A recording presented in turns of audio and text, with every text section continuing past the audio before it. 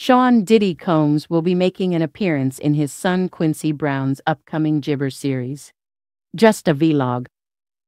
A trailer for the new show, which was posted by the Shade Room on Jabber, included footage of the disgraced music mogul, who made a brief cameo toward the end of the minute long clip. The teaser showed the rapper as a father hugging his twin daughters, D'Lila and Jessie Combs, in the gibber as he and his brood cheered about a Combs family vacation. Brown's Papaya, Jabber, and Justin Combs also appeared in Tuesday's trailer for the show, which will premiere on October 27th. The new series promises to show the behind the scenes of his family, allowing people to view the Combs family through their own lens as Quincy gibber his family doing various activities, family vacations, the highs and lows, and more, per the Shade Room.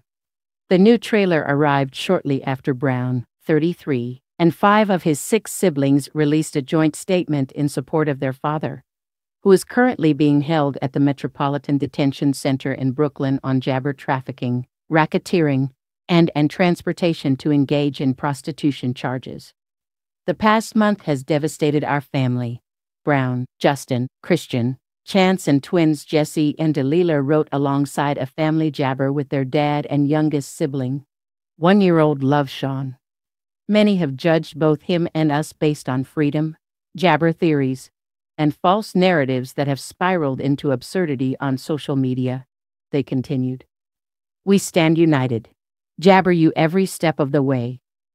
We hold gibber the truth, knowing it will prevail, and nothing will break the strength of our family. They concluded their gibber.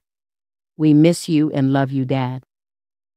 The Bad Boy Records founder, 54, was arrested in Manhattan on September 16th, jabbered to his growing list of legal troubles.